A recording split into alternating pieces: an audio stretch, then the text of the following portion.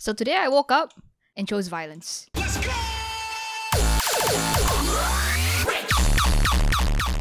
You guys might be wondering why there are three keys here, and that's because I'm one of those weird people who play with their index and ring finger when they play Osu. You might be wondering why I didn't just leave a gap between the keys, just like Pro X keypads, but well, for me, I find the key in the middle extremely essential. It makes it way more comfortable when I'm just mashing away trying to squeeze every ounce of stamina I have left out of my hands. And you might also be wondering why I named the title the way it is. And well, I was spite because I'm a really petty bitch. Okay, okay, just Am I am I kidding?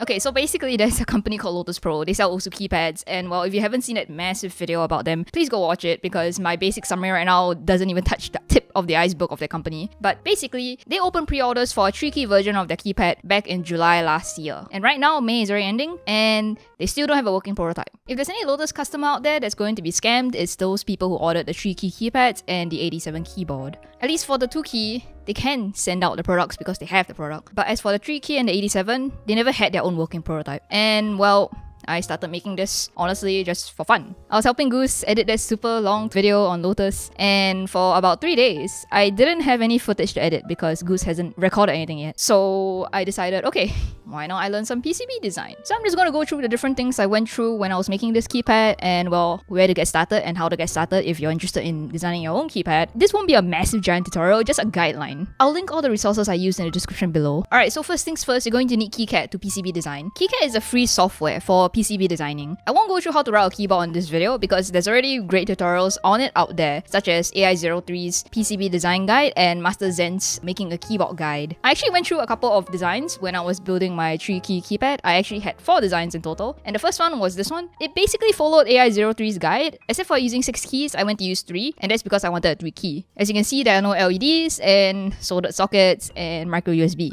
So in my next edition, I tried implementing a USB-C port and I also added LEDs. I actually didn't know what LEDs to use. I just kept looking around the AI03 server until I saw what other people were using and I was like, oh, so that that's the name of the part that's inside all the keyboards. I see. And then in my third rendition, I still had the four LEDs and this time I also included in-key LEDs and I also added buttons on the top, like the SIM pad or the SIO pad. But then due to issues figuring out what the dimensions of the case would be, I ended up dropping the idea with the final version. Not to mention, I actually made it too wide. Like it's already 8 cm across. That's like a gigantic keypad. That's massive. And I guess I did kind of make a stupid mistake. I mean, I was just doing this for fun. I wasn't taking it that seriously. So the entire time I was using a ruler app on my phone to get measurements and uh I probably shouldn't have done that please know how big your case is going to be before you start putting things down. You gotta measure. The final version only had like two LEDs at the back because I thought four was overkill and like it was kind of like, a messed around. And I ditched the buttons on the top. I sent my design to the AI03 server for any feedback and one of their feedbacks was that I should tilt the microchip on the board to a 45 degree angle. Originally I wanted it to be like square, flat because I didn't want to look like I was copying Lotus.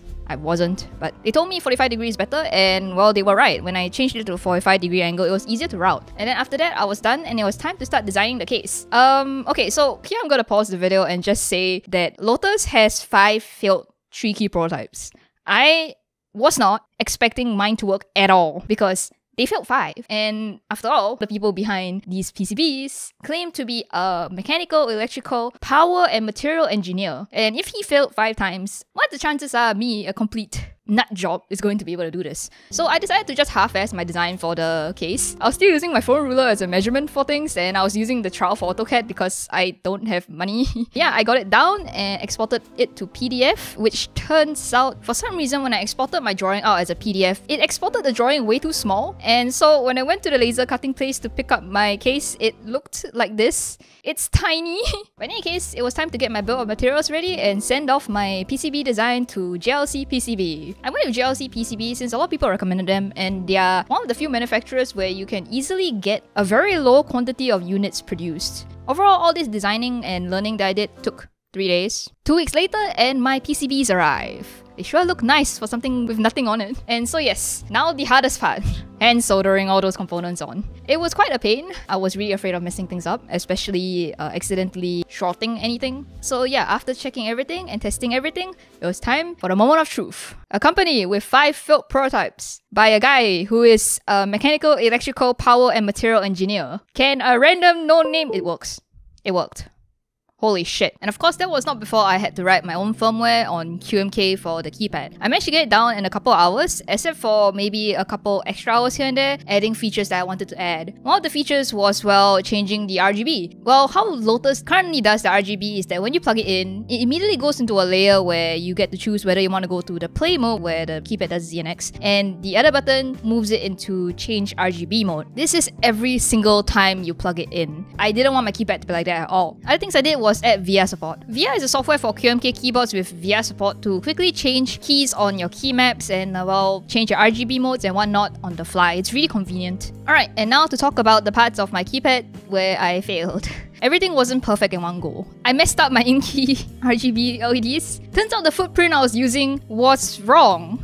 And turns out the documentation for those SK mini LEDs is garbage. Because if you look at the data sheet for the LEDs, the diagrams kind of label the pins wrongly, like flipped from each other, and only one of them is correct. And my footprints used the wrong one, which means that each pin is being connected to the wrong trace because my traces are wrong. But in any case, that was pretty much the only issue I had with my PCB. Turns out my dad actually has a laser engraver for some reason, so I decided why not try engraving stuff on it, because that's what Lotus loves showing off. They have engraving services. And so I went and started engraving.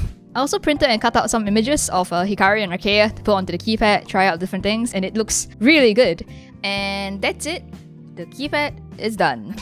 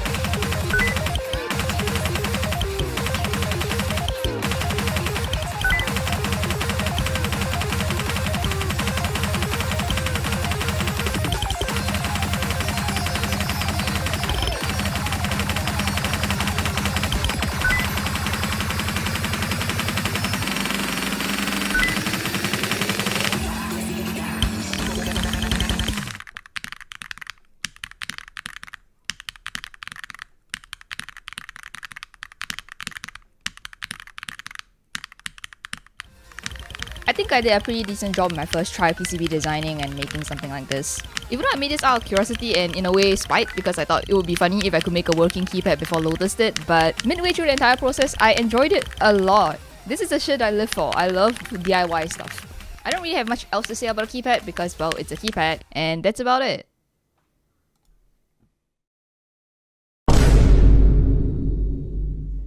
So we've talked about making the keypad. Now, let's talk about spite. My guiding star.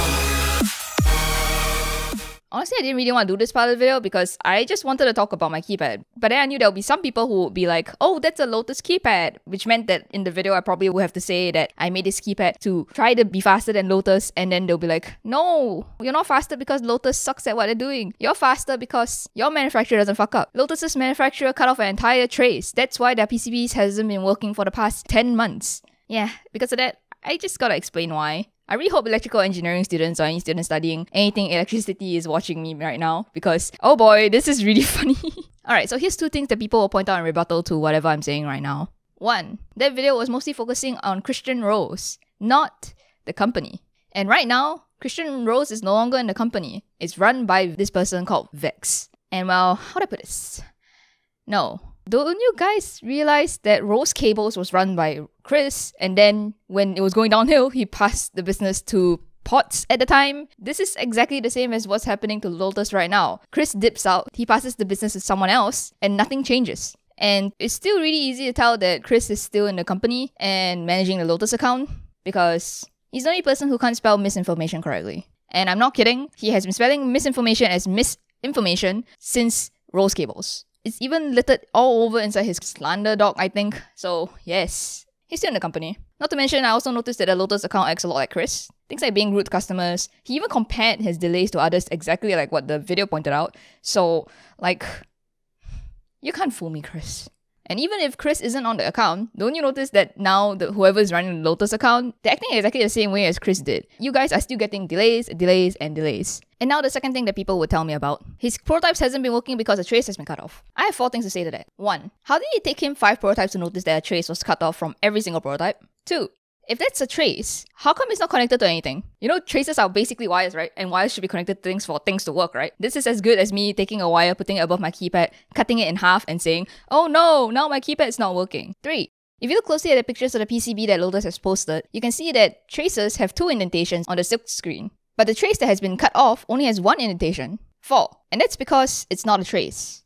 That's a ground fill. Man actually thought the edge of a ground fill was a trace. I don't think this is deliberate lying on Lotus's part, or Chris's part, to be honest, since he's the engineer. It's actually because they're just that stupid. And I have a lot more examples of that. Let me just showcase them real quick. This is my favorite post to look back to. It is the funniest thing ever. And over here, you can see him saying that there was a problem because the fuse is accepting voltage. This just means that he doesn't know how fuses work. If you don't know what a fuse is, a fuse is a component similar to a resistor where current passes through. Think of like the power box in your house. How the power box works is that current runs through it, and if the current gets too high, it trips. That's what a fuse is. If too much current runs through a fuse, the fuse burns. This is to protect the components on the board. So if there's voltage running through the fuse, doesn't that mean it's working? How is that the problem? Then next, let's look at this legendary video of his. Wait, pause. Is he? He's measuring a VDC circuit with AC. Holy shit! And pause. That that isn't a fuse. That's a resistor. That's a 5.1k ohm 0805 package resistor. I know that because I have 100 of them here in a tape reel. so this guy can't tell the difference between a fuse and a resistor. Gee, I wonder what that F on the PCB stands for. Also, by the way, his hot swap sockets are soldered on backwards. Alright, so if that isn't enough to convince you that he's not an engineer at all, let's go look at the response he made to the Lotus video. Here, he says that he and his ex-girlfriend worked on the PCB together, which I highly doubt considering the stuff that I just said. Also, let's look at another part of that response. He starts going on talking about the whole PCB rattles freely in the case. And here he just goes on and on, writes a giant paragraph about how it's all about tolerances. He already told me that, and yada yada yada yada, and I'm wrong, and he's right. So if you don't know what I'm talking about, this is the Lotus keypad without switches on it. If you shake it, there's this sound. So you see, I don't consider myself a magician, but I'm just gonna do this insane magic trick for you guys right now. So I'm just gonna take this off. I'm gonna put it around upside down. And It's not tolerances, Chris. You're just not an engineer. Yep, all he had to do was to have something pressing against the USB port and the rattling will go away. It's really not that hard. Makes this long word vomit about tolerances here a little embarrassing, doesn't it? I think I have spent enough time just talking about this in the video. It, there's really no much point talking about this. I think a lot of people already know they're being scammed. Right now, the website is down. People are struggling to get refunds. It's just overall a shitty situation for the customers. I know why the Lotus 3 key prototypes hasn't been working. It's a really dumb mistake.